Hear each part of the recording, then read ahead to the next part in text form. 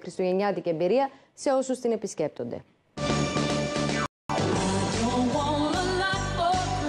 Φόρεσε τα γιορτινά της στα σικρά του και μεταφέρει τη μαγεία των γιορτών και το πνεύμα των Χριστουγέννων σε όλους τους επισκέπτες της.